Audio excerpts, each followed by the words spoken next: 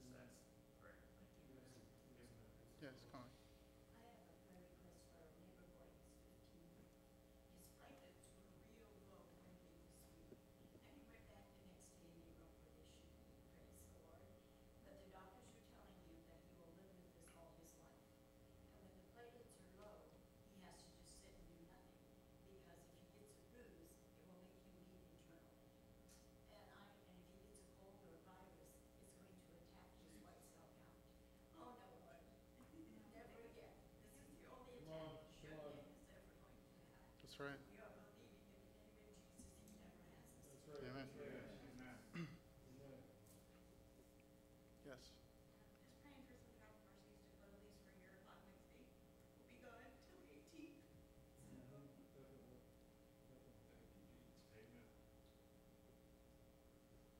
Yes, Donnie.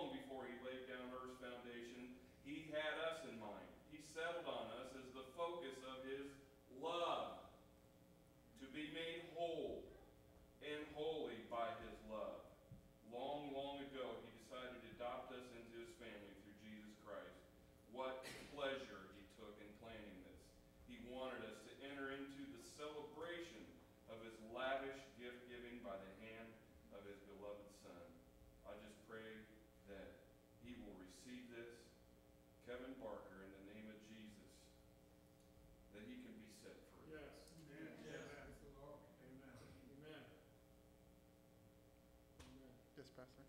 Yeah, Roberto, I mean, just in, based on what's been said by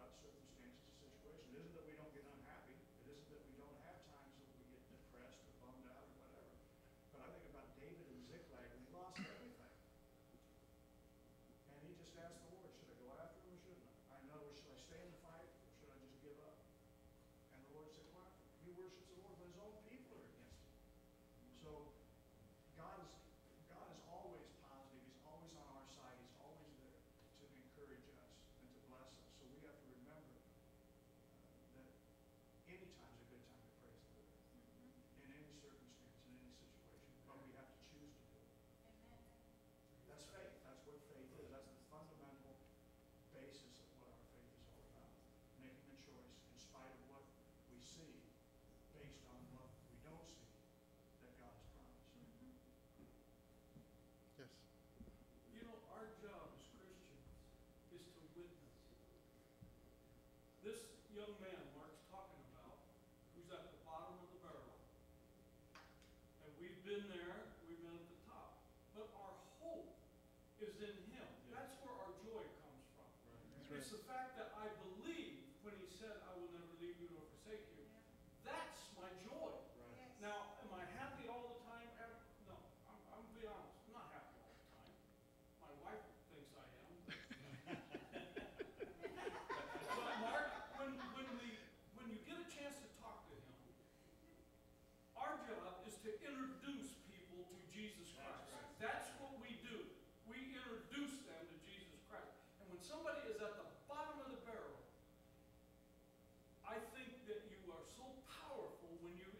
them to the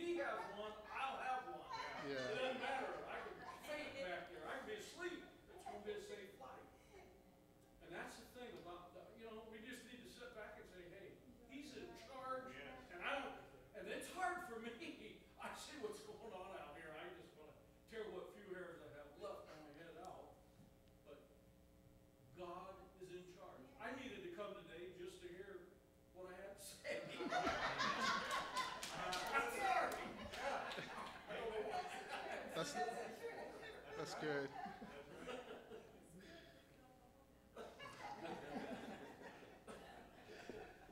Anyone else? All right, well, let's stand.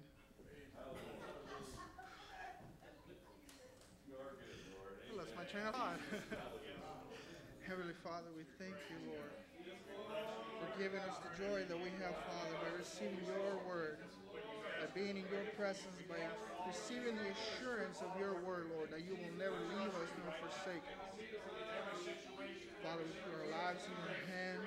We lift up those that are in need of healing, those that are in need of breakthrough, whether it's financial, whether it's relational. Father, we ask you to protect those that are going to travel, Keep them safe. Know that you are in charge. You are holding them in your hands and keeping them safe. Hallelujah, Lord. Hallelujah, Continue to give us revelation, Lord, so we can go out into the world and introduce others to Glory to your name, O Lord. The Jesus that we know, the Jesus that we have experienced, Lord. Touch, thank Lord, you, Lord, for all of your blessings and everything that you have done for us, for changing our lives, for making us new creatures. Let them see your glory, Lord. For us your Holy Spirit. Each generation needs to see your glory, Lord generation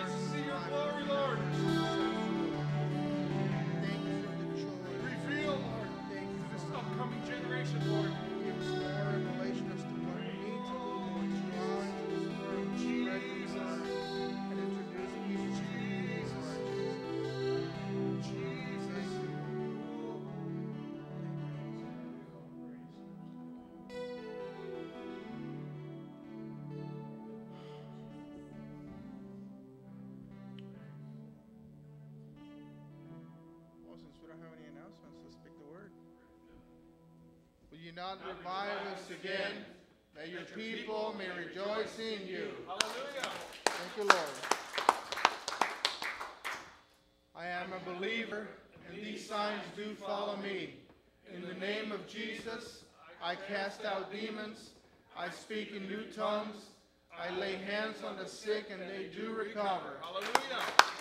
Thank you, Lord. Christ has redeemed me from the curse of the law.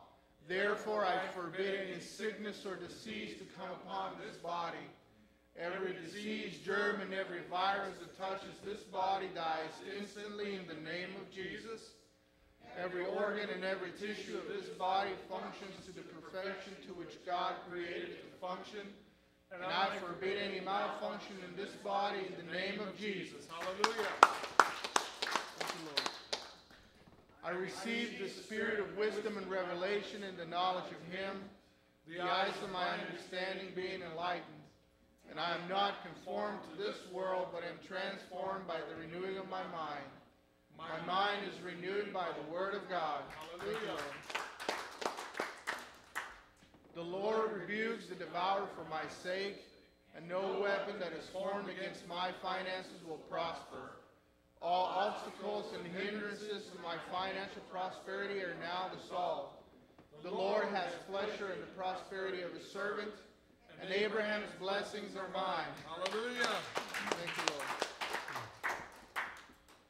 Uh, Mark and Donnie, would you please take the offering? Mark, can you say the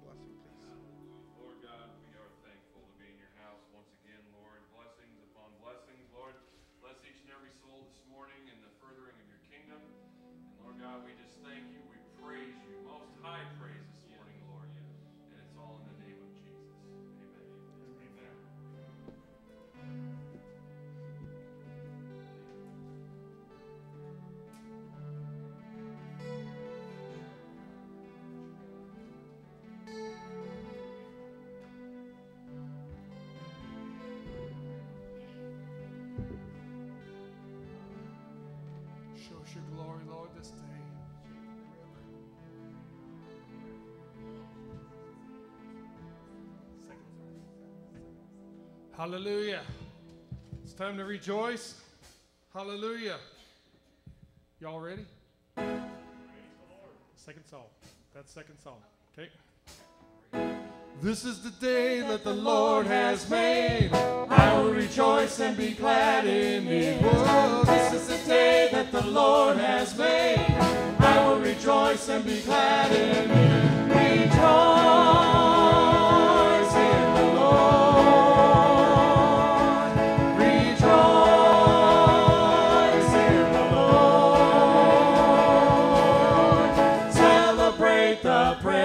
of the Lord. He is worthy to be praised. Celebrate the presence of the Lord. He is worthy to be praised. Rejoice in the Lord. Rejoice in the Lord. This is the day that the Lord has made. Rejoice and be glad in it. This is the day that the Lord has made. I will rejoice and be glad in it.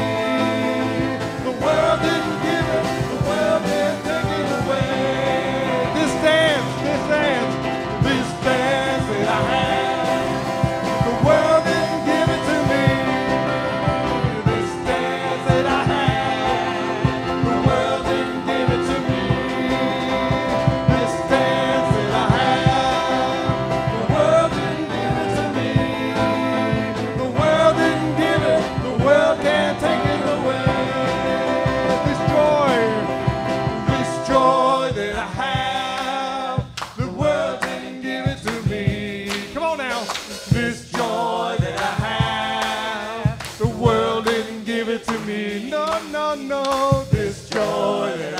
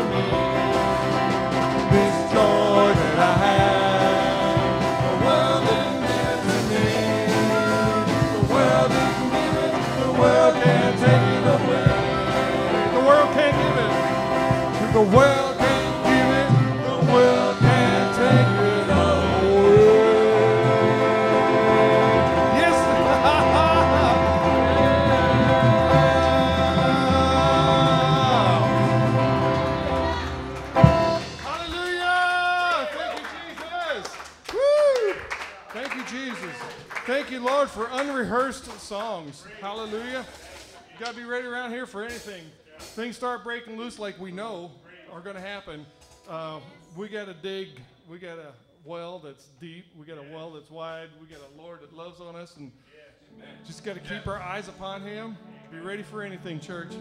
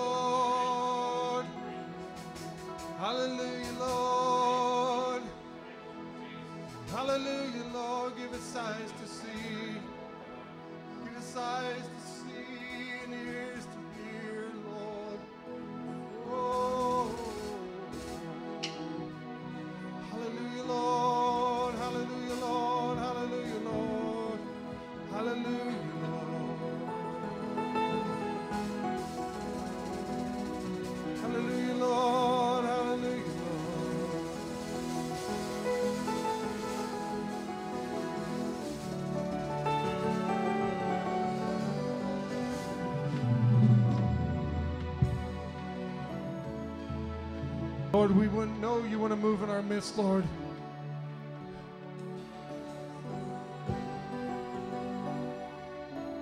All of creation calling out to you, Lord.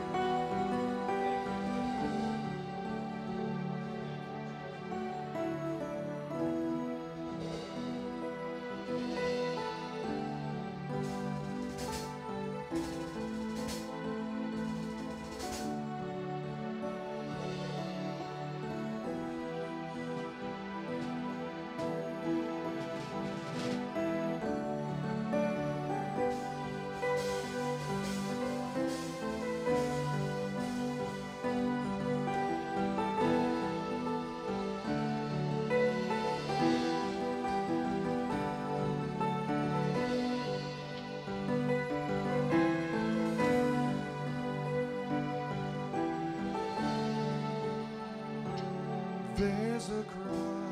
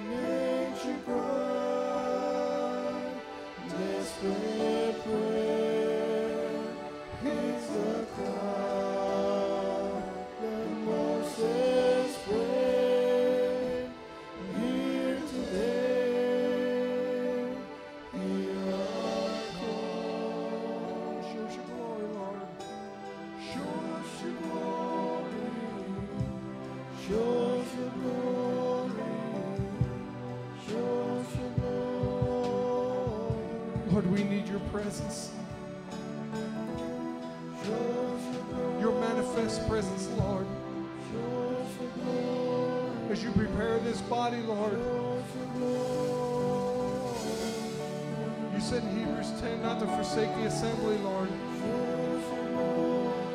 Not to forsake the assembly. Draw them in from the north and the south and the east and the west, Lord. Show us your glory now, Lord. We need your presence. Rain upon your people here right now this day, Lord.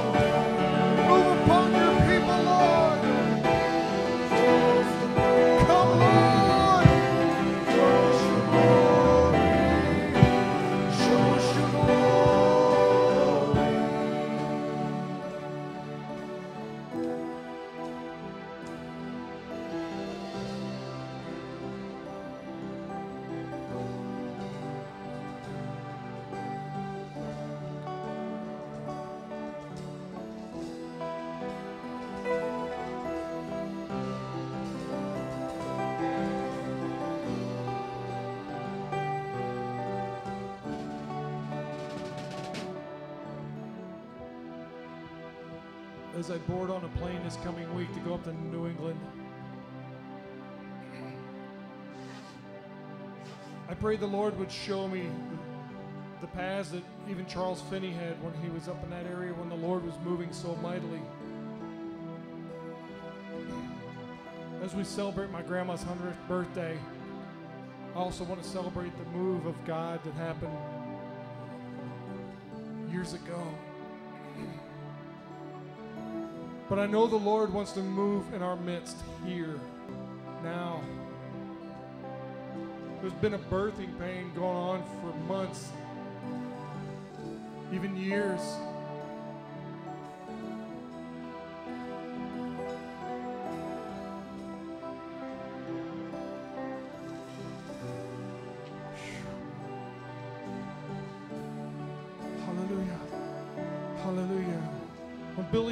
Was here about 100 years ago, here in Des Moines, there was a move of God.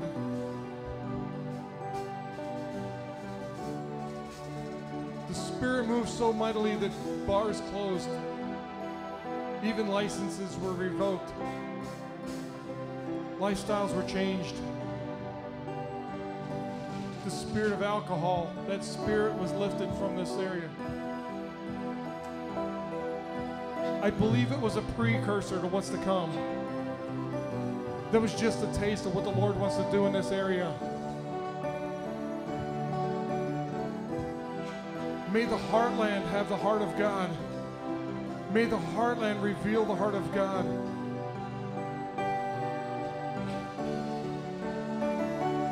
Lord, reveal, reveal,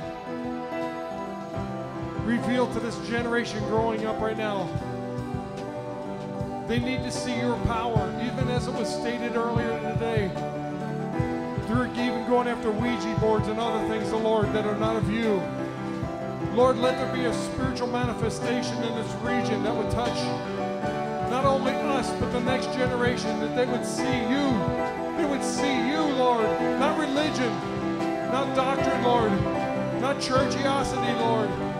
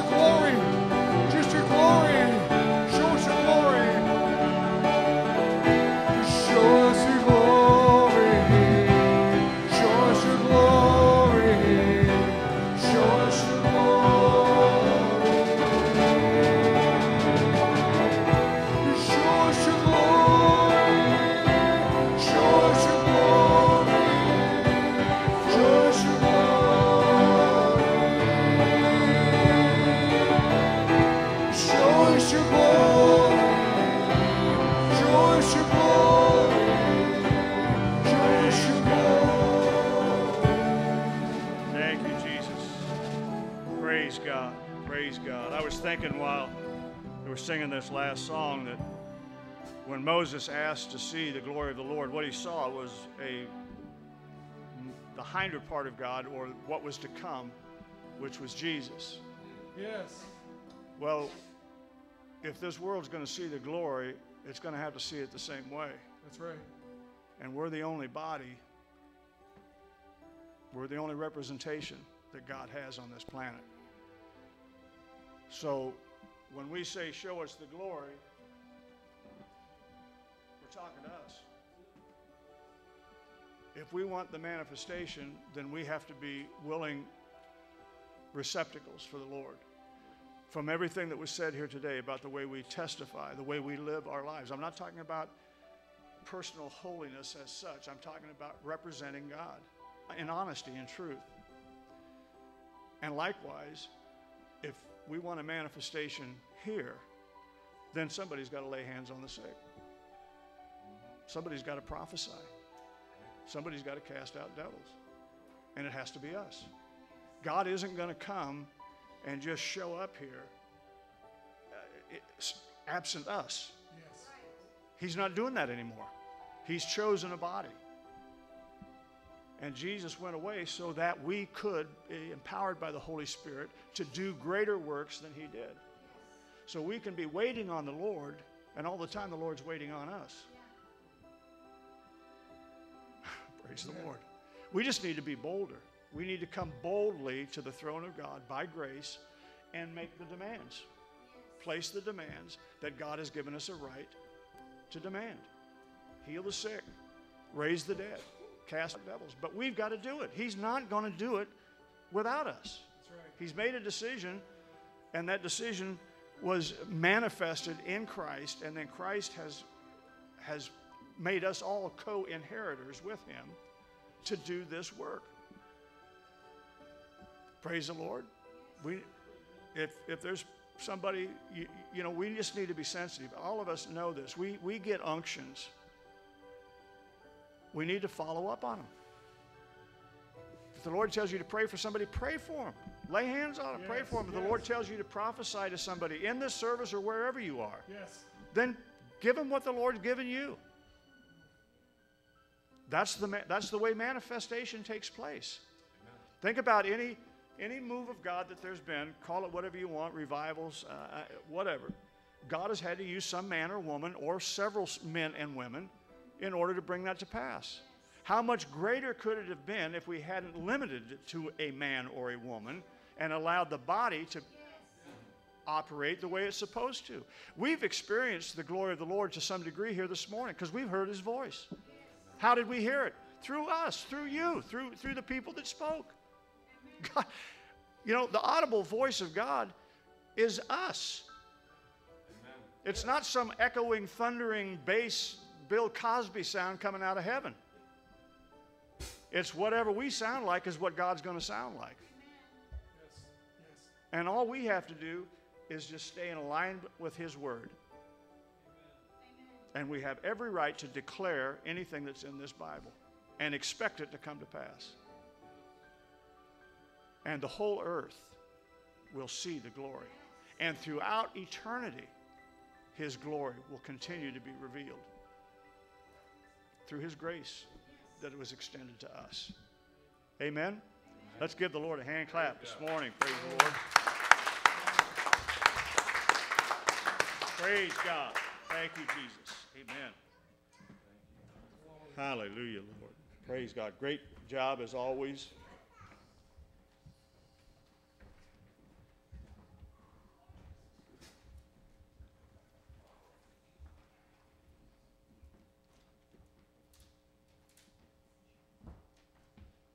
You know, I, I get asked on a frequent basis, you know, what's this church do? What's it, you know, what's our theology? Uh, in fact, as recent as uh, Thursday, someone asking me about the, basically they're asking, what do you preach? You know, what do you believe? And that sort of thing.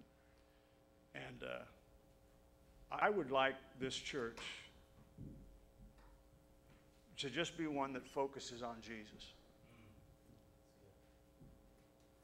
That's, that's the thing that will draw people to God.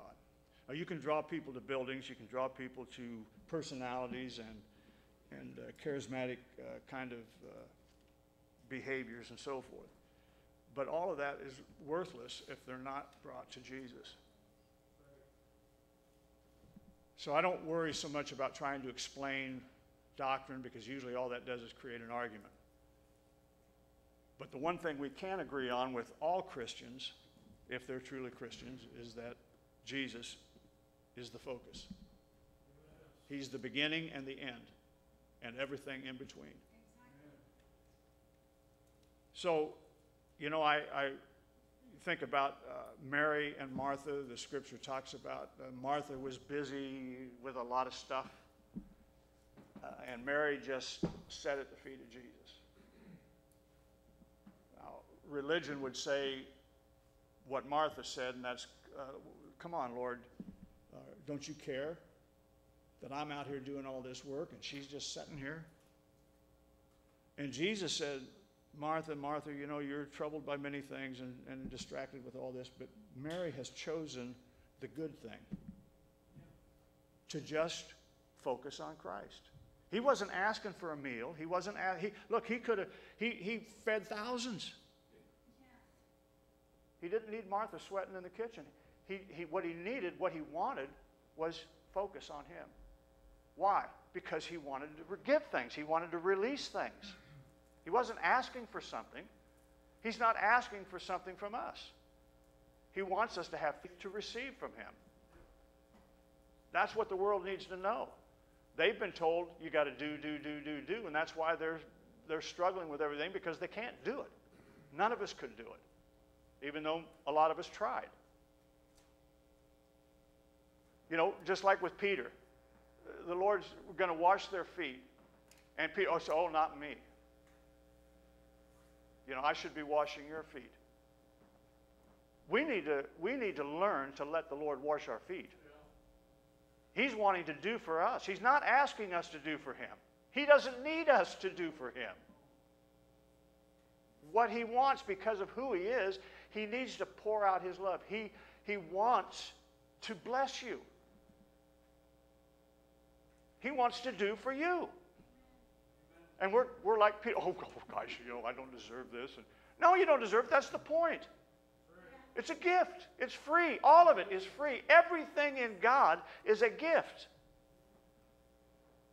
None of it can be earned, or it wouldn't be by grace. Then it wouldn't be God who got the glory, it would be you sharing glory with God. And he said, That's what I'm not going to share with anybody. Look at, let's look at a couple scriptures here. This isn't actually my text, but I just want to lead into this a little bit. Romans 5:19, Mike.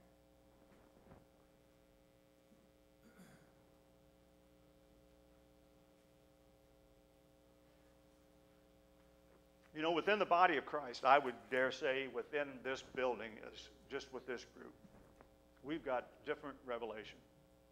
And we have, we have some that's in common, right? But then we have some that isn't necessarily common to all of us.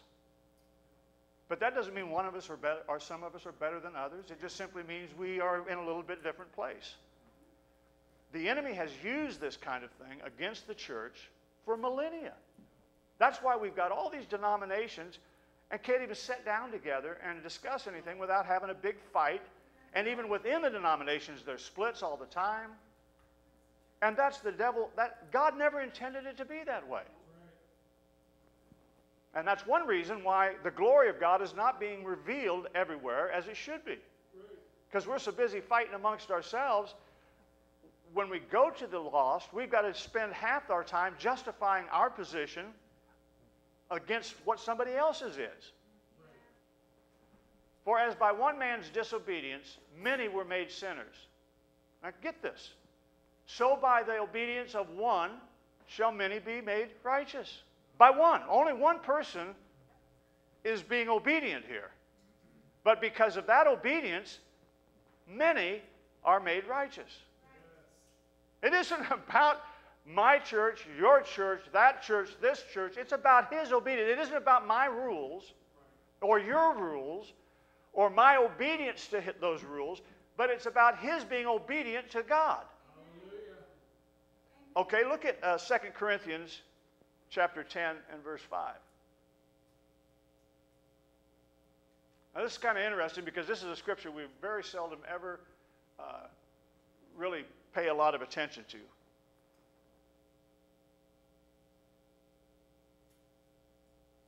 Casting down imaginations, every high thing that exalts itself against the knowledge of God, and bringing into captivity every thought to what? The obedience of Christ. Not me, not you, but his obedience. Every thought that we have, every time the enemy comes and tells you, you, you don't deserve this because you haven't done enough, you haven't been obedient enough, you've failed, you've done this. He says we're supposed to be concentrating on the obedience of Christ. That's where our answer is. That's where our victory is. That's where our blessing comes. He purchased it by his obedience. It's not about our obedience. We have to bring every thought, every negative, into agreement that the obedience of Christ has taken care of it. Okay? 1 John chapter 4 verse 17.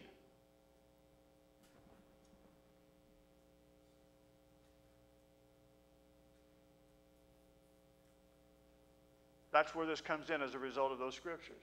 Herein is our love made perfect, that we may have boldness in the day of judgment. Why? Because as He is, so are we in this world. As He is perfect, righteous, accepted. My Son, my beloved Son, in whom I'm well pleased. Now, come on, that's Bible. That's Scripture. That's where you are right now as a believer. That, this is how the glory of God is going to be revealed. Jesus knew that. He, had, he understood his relationship to the Father as a man. And that's what he's trying to impart to us because it's only through that that we can have everything that the Bible promises. Otherwise, these things are all uh, illusory. You know, they're, they're vague, they're just out of reach, it seems like. But here we have them, we, we possess them. Praise the Lord. How many, how many of you heard of a litmus test? Almost everybody's heard of those things, right? And what they have is a there's a there's a paper that uh, when you when you drop the solution on it, if it's an acid, it turns red, and if it's a base, then it turns blue. So you know if you need to add or subtract or take from. They use it in swimming pools. They use it in soils. They, in anything. And the truth is, legalists, religious people, love a litmus test.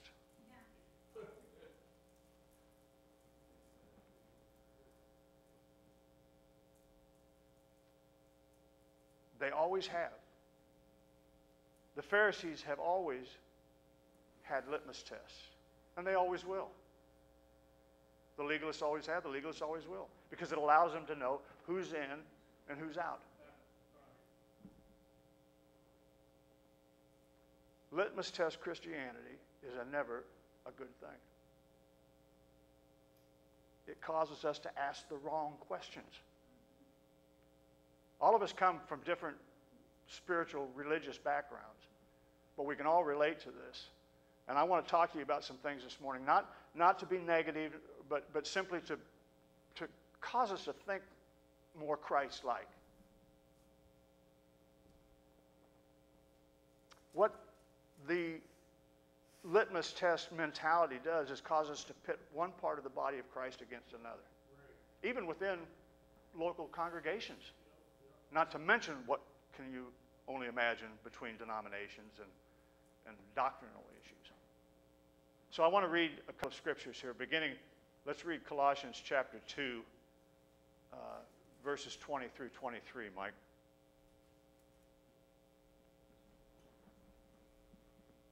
And I'll try to move along here and we can.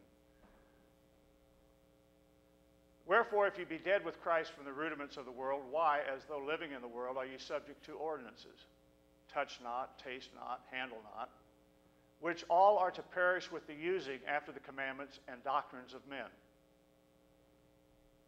Need to focus in on that parenthesis. Which all to perish with the using after the commandments and doctrines of men, not God all these rules, these regulations, which things have indeed a show of wisdom and will worship. Self will. I will do the right thing. I will, you know, it's all about ego and individuality and pride, and humility, and neglecting of the body, not in any honor to the satisfying of the flesh. Praise the Lord. Now let's look at 1 Thessalonians uh, chapter 4 and verse 11. Now, here's a scripture that we hardly ever see, hear, or talk about to any degree. That you study to be quiet and to do your own business and to work with your own hands as we commanded you. Wouldn't that be a novel attitude for Christians?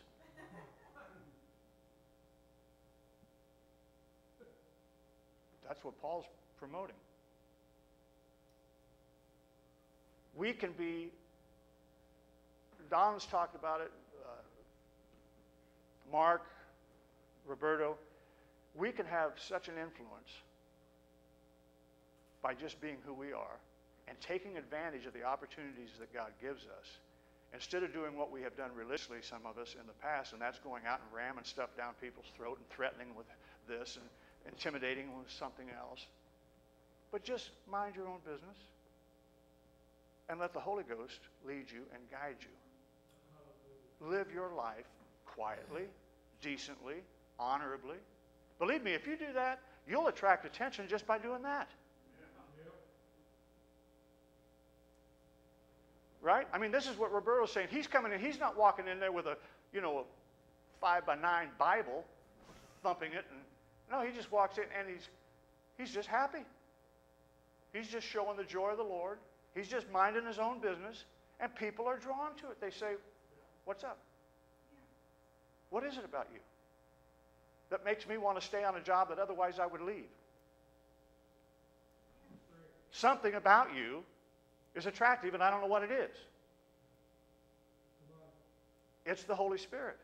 And Paul says we can influence people by just being quiet and doing our own thing and allowing the Holy Spirit to draw people. You know, we all live lives that are unique. We have our own circle of friends and, and relatives and so on and so forth. So God's always putting us in positions where we have opportunities to be a witness.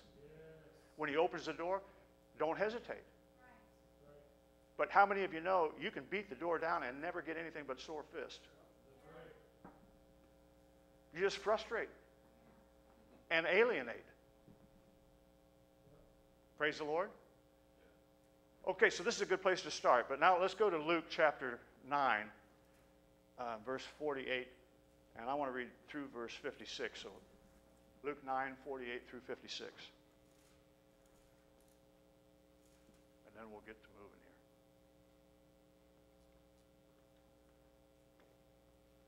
If you can, back up to 48.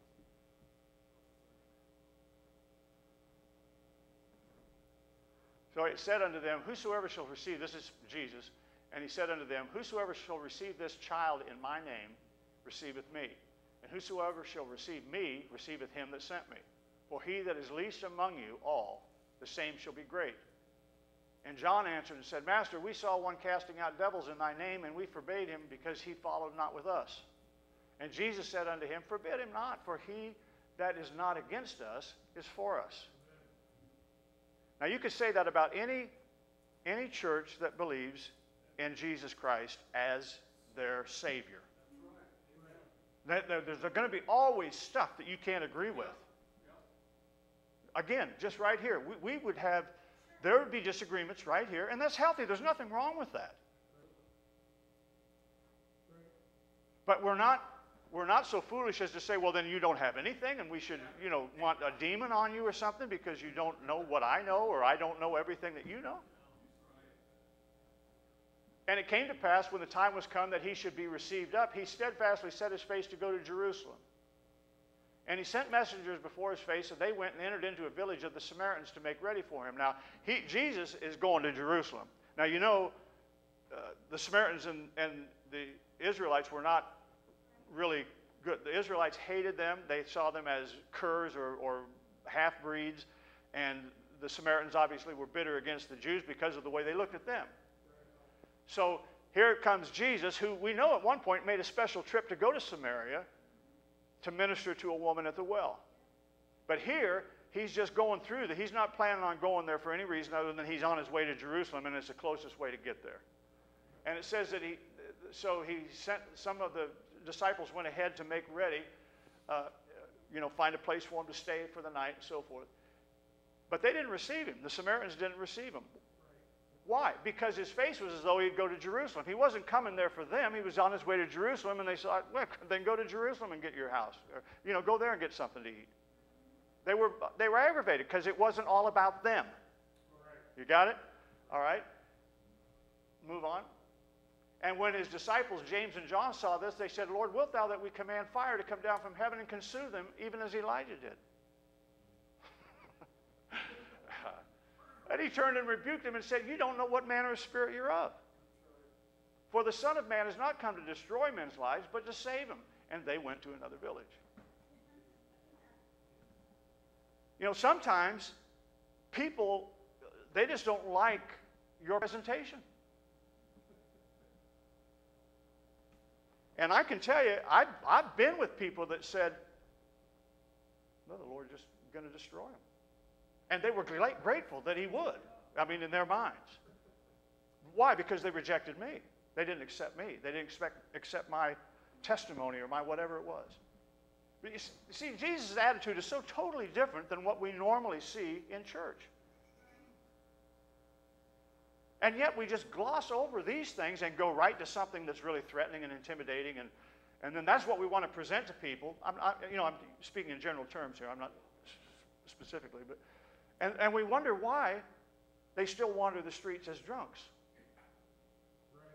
Because there's no hope in that.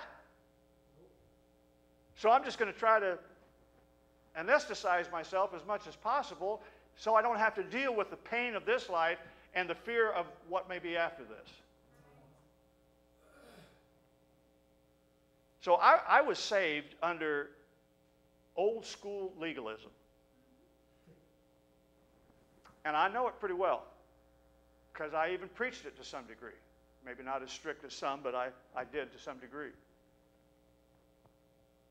And in that environment, leadership was more concerned about what was in our refrigerators than it was with what's in our hearts.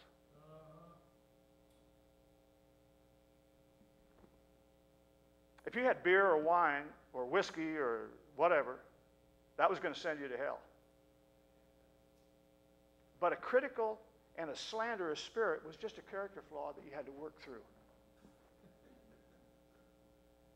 Honest to God.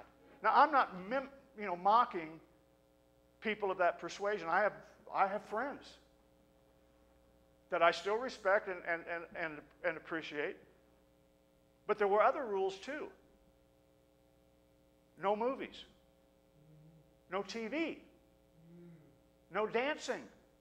That just destroyed me. That was one I embraced because I was never much of a dancer. No playing cards. And if you really followed the rules, you didn't even have a game that had dice in it.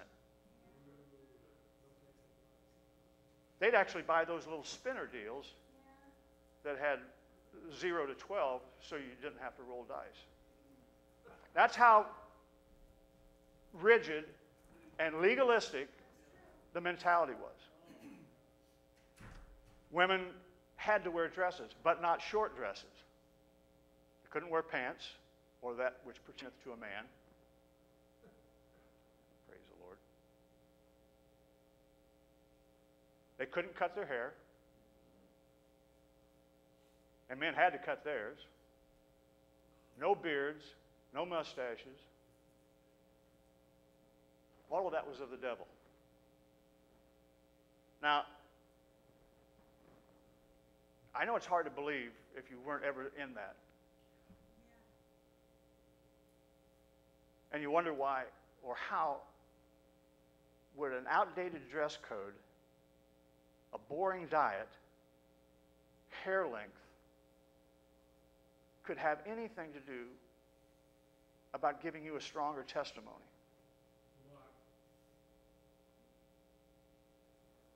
Or how it could make you a better Christian. Again, I'm not trying to be hateful or, you know, judgmental or critical. I'm just saying. Looking back, it's hard to kind of put it into any kind of where it makes sense.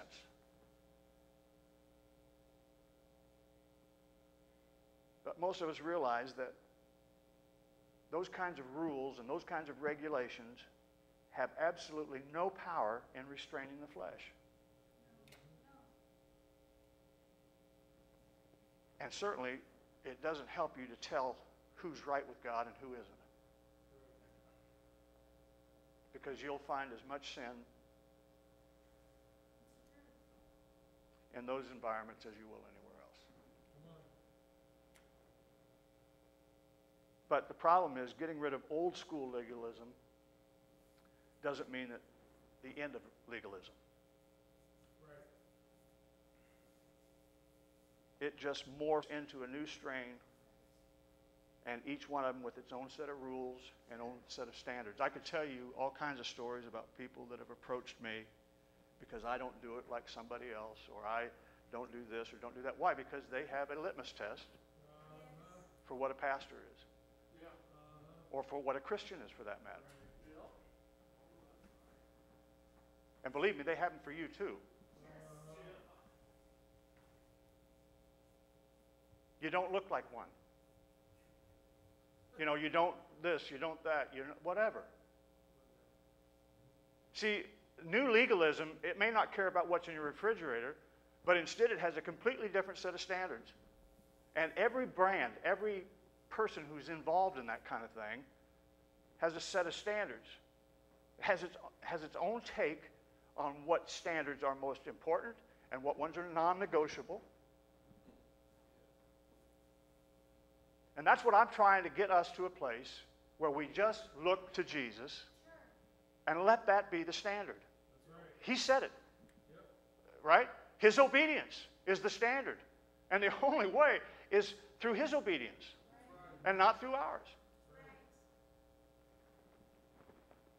Look, let's look at something. Judges chapter 12, Mike, uh, verses 5 and 6. Now, most of you probably have seen this scripture or read about it before because it's kind of an odd thing.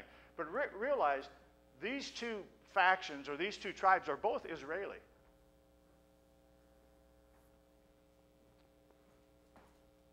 The, Gilead, the Gileadites took the passage of Jordan before the Ephraimites. And it was so that when the Ephraimites which were escaped said, Let me go over, that the men of Gilead said unto him, Art thou an Ephraimite? If he said, Nay, then they said unto him, Say now, Shibboleth. And he said, Sibboleth. For he could not frame to pronounce it right. It's like Chinese trying to pronounce certain words. They don't come out right, no matter how educated they are, no matter why, because they just, it's a foreign way of saying.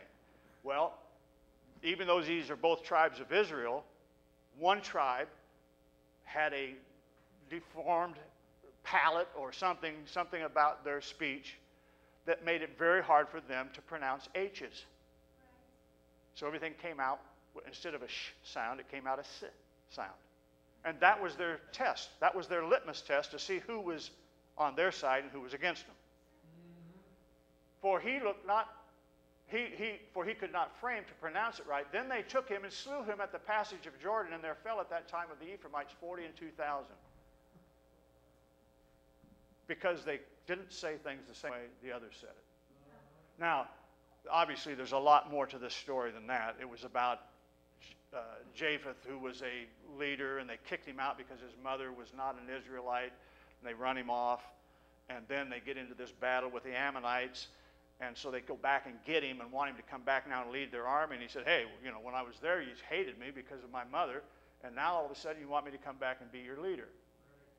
And he said, All right, I'll do this only if after we defeat the Ammonites, I get to remain leader. And they agreed to it. Well, they go out and whip them, and the Ephraimites are mad because they didn't invite them to come in and join in the, the destruction. You didn't let us be part of the battle, you know, so now we're going to kill you by the thousands. All right, praise the Lord. So let me just give you a few examples of this kind of thing. This is not this is hardly a definitive list. It's hardly all of them. It's just it's just a few that I know of, you know, and there's plenty others, but I just want to use these. There's the uh, crazy Christians. Hallelujah. People who see themselves as crazy in love with Jesus. You turn on Christian television, and you'll find them. They're in there. Praise the Lord. Now, please, I, again, I'm not, I'm not trying to mock here. I'm just saying, just as an identifying thing that we can see what goes on within the body. Their, their litmus test of a true disciple is costly personal sacrifice. You have to voluntarily deprive yourself of something very valuable to you. You see what I'm saying? And their evidence of, of persecution for their faith is highly valued. I mean, they'll do things intentionally to be persecuted so they can testify about the persecution because it's a big deal. So there aren't very many uh, who are involved in these things. And you have to have had at least a few leaps of faith where all your friends thought you were nuts. I'm just going to do it, you know, and it's totally absurd, but, right?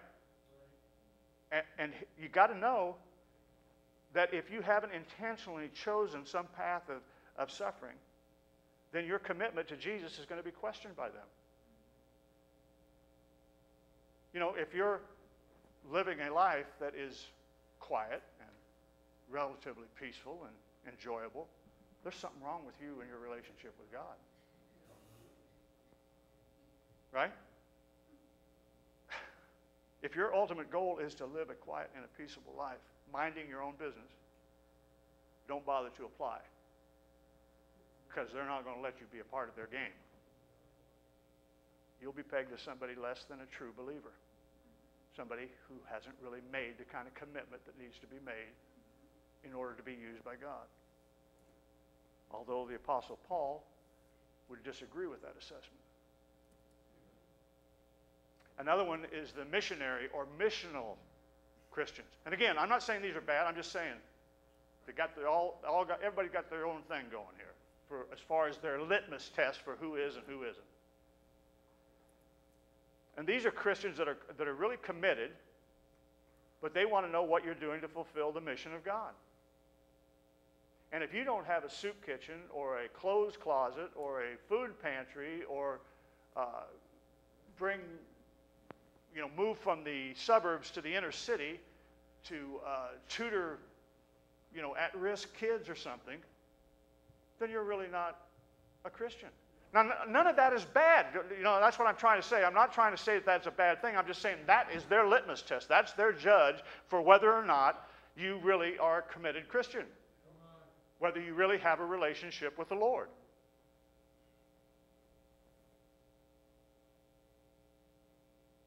And if you don't, then you're an uncommitted and questionable Christian. And then there's gospel centered Christians. And they determine spiritual maturity by, by means of their theological grid, if you will. And I mean, I could name denominations right now where this is just rampant, but it's, there's some of it everywhere. They're debaters, and they think of themselves as intellectuals. And to be certified as spiritually mature, you need a high IQ. And you need a degree in theology to be taken seriously. Now, they might let you in, but you'll never have any position that amounts to anything without that.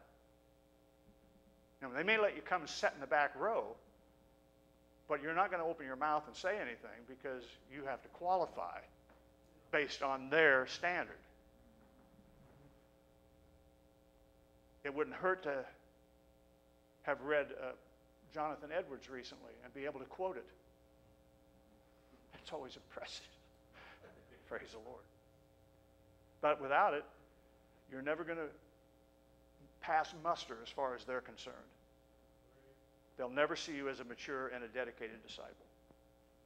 You're just kind of a hanger on, a, a, a peripheral out there on the edge somewhere. And then finally, there's the uh, revolutionary Christian. And again, this isn't everything, I'm just talking about a few here. And for whatever reason, they've been put off by uh, regular church services. Uh, maybe they don't like the pastor. Maybe they don't. They just don't like the idea of uh, any kind of uh, organization, if you will. No matter how loose it is, if it's a church, it still just doesn't muster with them. So, if you've ever been hurt, disillusioned, disappointed, I mean, any number of reasons you could follow, but eventually uh, you, you have to become a part of a uh, house church. I've, I've seen these, these people all alone. Now, there's nothing wrong with house church, don't get me wrong. Right? Any more than there's anything wrong with the other things that I'm talking about in, in, a, in a general term. But those are, th- those are just a few examples. And all of these expressions uh, of the Christian faith are trying to emphasize something good. They all have an important place in the kingdom of God. They do. I mean, there are reasons for these things. But they're also teetering on the edge of a dangerous cliff. And this is to what Don was talking about earlier about us coming together in like mind, in agreement, not with attitudes about others or you know what they do or don't or believe or can't believe or whatever. But they, these are also, although there's good that comes from these things, and, and it should be a part of the kingdom of God, because it needs to be in certain areas and for certain reasons. And yet it's dangerous because they're on the edge of this thing. They're allowing their personal passion and their calling to become the litmus test. In other words, if you're not with us, there's something lacking. I mean, if you don't agree with the way we do it, then there's something wrong with you. And so it becomes this litmus test or the, the shibboleth, you know, by which we decide who is in and who's out, or who is a genuine Christian and who is just a kind of a maybe. It becomes just another legalistic, Pharisaical distinction. And here's the reason why it's dangerous for us personally, for groups, however it, however it is. Legalism always leads to a lack of mercy, except for those that are just like you. They love the idea of mercy, but they want to limit it as to who it's offered to and to how much is offered. Now, I've seen this myself, my own experience, and I know it's true in all of these organizations to some degree or another. Let's look at Mark chapter 3, verses 1 through 5.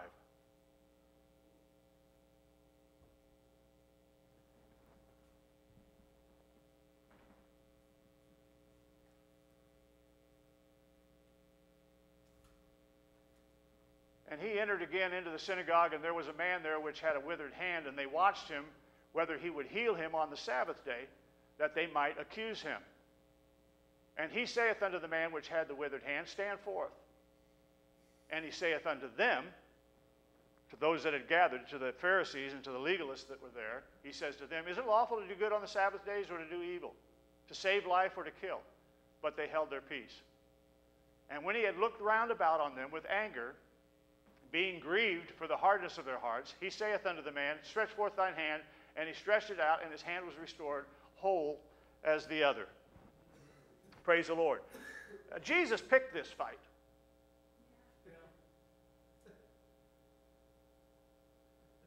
He didn't have to do it that way. He made a point. He made an issue of getting their attention, having them, you know, make a decision one way or the other, and then he deliberately broke a Sabbath law as far as they were concerned to prove a point. And Jesus went around picking fights like this all the time. We don't see him that way, but that's where he was. He could have done things secretly, privately, but he didn't. He, he went out in the, right out in the open and made a show of it. Now, in the eyes of the Pharisees, you got to realize Jesus was putting the immediate need or the, the obvious need of humanity above adherence or, or faithfulness to the Scripture. So, in a way, you can't hardly blame them from where they're coming from, you know what I mean? But he was trying to prove something to them. He was trying to show them the real mind of God, the real heart of God, a real manifestation of God. And what's more, none, you know, none of the people that Jesus healed on the Sabbath, you go back through all the Gospels and, and check them out, none of them were in grave danger of dying before sundown. It wasn't like he couldn't have waited a few hours And it wouldn't have been the Sabbath anymore, and there would have never been any issue about it at all. It wasn't like they were in the middle of, you know, choking to death or having a heart attack or something. These were all things that could have waited. But he made a point of doing it on the Sabbath in front of these Pharisees, in front of these that he knew were going to be just outraged by it. Amen. So why? Why didn't he just wait? Because he didn't care. Praise the Lord. He wouldn't listen to their logic. He wouldn't postpone his mercy to fit their timetable. Instead, he kept picking those fights to prove a point. In the kingdom of God, mercy trumps sacrifice. In all of these denominational, individual groups, however you want to put it, God's more interested in mercy than he is in their uniqueness or their sacrifices that they see the need for.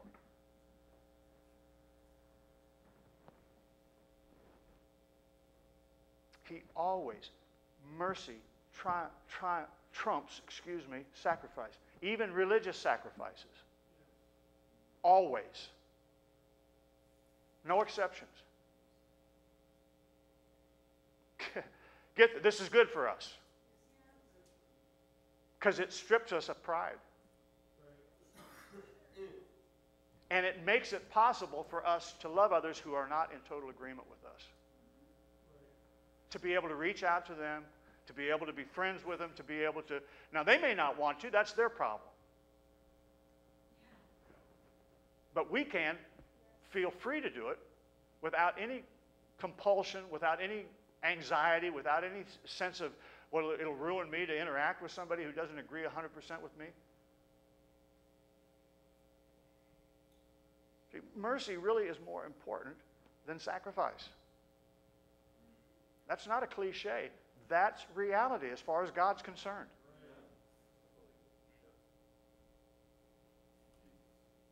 It's a kingdom principle. It's what God wants. It's to be applied everywhere. Think about that when you talk to your friend. Not that you were going to condemn him, I'm just saying, he's already condemned. This is what Jesus told him. He said, I didn't come to condemn. You've already got one that condemns you the law, Moses.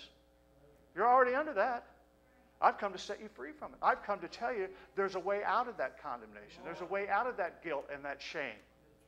And it isn't by you cleaning up your act, it's about you coming to me and I'll wash your feet.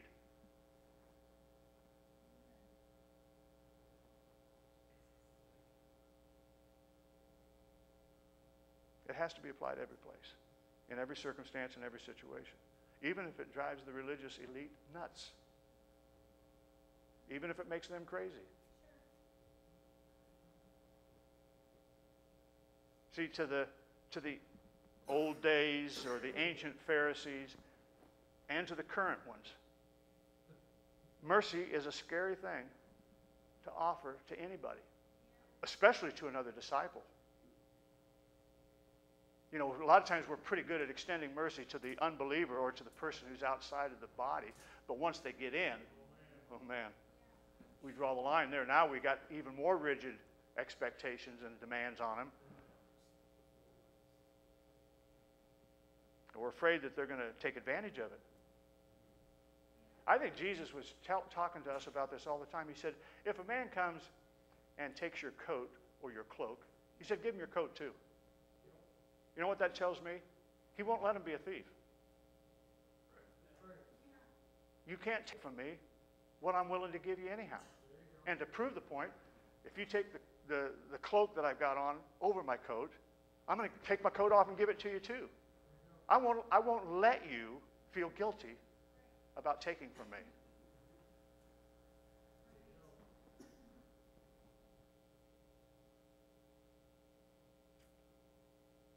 Maybe they'll see it as a permission to, to live a half hearted life of, you know, kind of mediocre obedience. So, Is that costing us anything?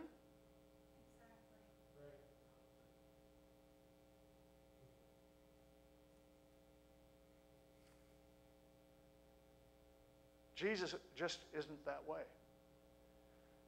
To the one guy, he said, the, rich young ruler comes and he said, Master, what must I do to be saved? Well, you got to, he starts giving him the law because he's asking what he is supposed to do. So he answers him with the law. And the guy's arrogant enough to say, Well, all of that I've kept since my youth up. So then Jesus just ups the ante and says, Give away everything you got then and follow me. Now, hey, whole denominations have been built around that where you, if you've got more than two dimes to rub together, you can't be a part of their group. Poverty gospel has been just as damaging as the total prosperity gospel.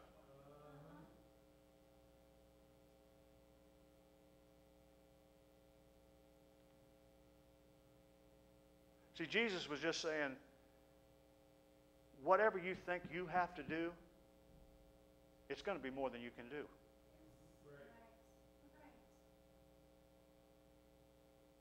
So, to people who, who fail, people that turn away, it was mentioned here this morning. We see people, you know, they, they, uh, they lose out with God. That's not true. They're told that they're backsliders or that they're this or that they're that, which is not even, doesn't even exist under the new covenant. Right. So they think that, well, if I ever turn away, because, you know, disappointment comes to people.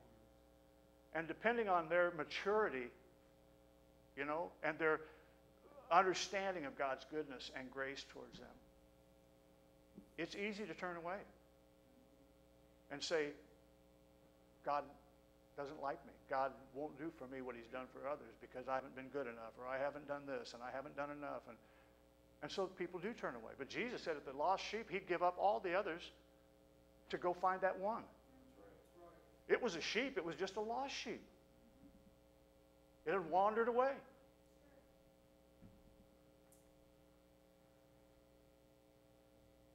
People that sit on the fence. Mediocre, lukewarm, you know, whatever.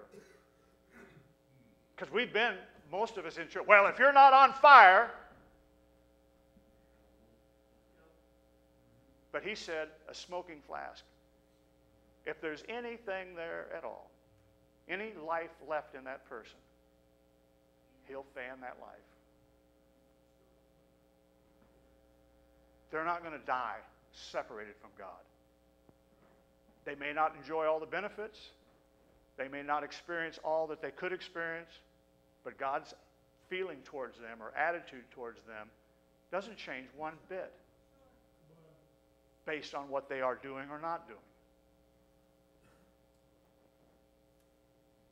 Jesus continues to offer his extravagant mercy another chance and another chance and another ch- I can I can testify and another chance and another chance. It's mercy that is excessive. It's undeserved. It's generous because it's God. Now, we want a pure church. But Jesus takes a whole different route.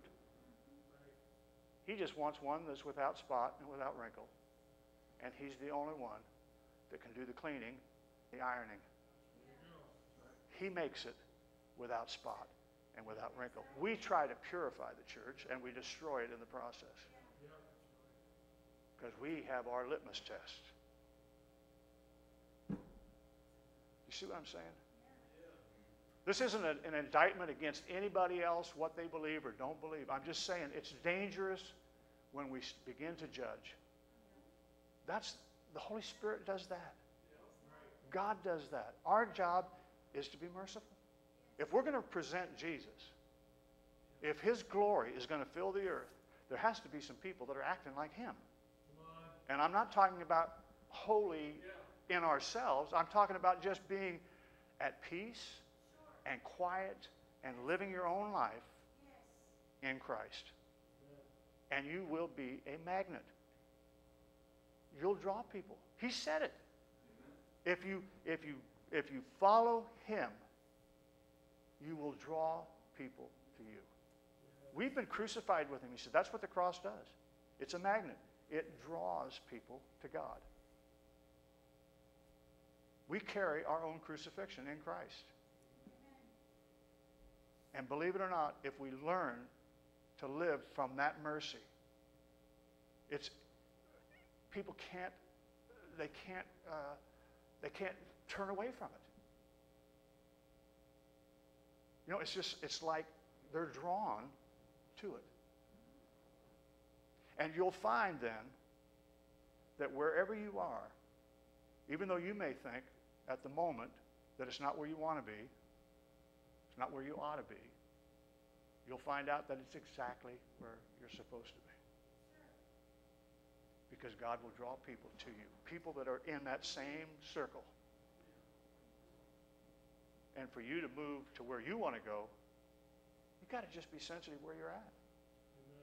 Sometimes the place where we're at is the best place of all. We just don't know it. I mean, I use this, you know, analogy all the time, but we go on vacations every once in a while. And I know I used to think that like this, we'd go on vacation. I mean, we used to go down to Missouri to the lakes, and every once we'd stay someplace where they'd have a pool and, and close to the lake. And of course, you know, you're not doing anything except sitting around and eating and playing a little golf, maybe swimming, fishing, not paying any bills, not getting any phone calls. It's heaven. Man, I want to move here. I want to move down here. I, I don't know how many times we've done, you know, been places. And I, I just, I'd like to live here. Not if I lived there.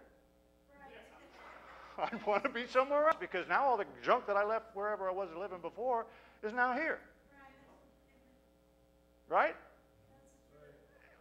Sometimes we think it's always better someplace else because we just don't like dealing with whatever it is we're dealing with here. But it'll, it'll happen there too. But if you learn to be at peace, which is all that was being talked about here this morning, trusting that where you are is where you. Look, God doesn't make mistakes. Now, it may not be comfortable. You might not like it. But it doesn't mean you have to be there forever. But that is where you are now. So just try to calm down. Try to rest in Jesus. And see if he doesn't start doing supernatural things around you. And believe me, when God starts moving around you, things change. Even the crooked places get made straight. You know, the low places are raised up, the high places are brought down. Everything gets leveled off. And you might find that the reason for all of the confusion and chaos where you're at is because of demonic influences that God is trying to overcome, but he needs somebody to cooperate with him. Hey, if you're going through a bunch of crap, it ain't God.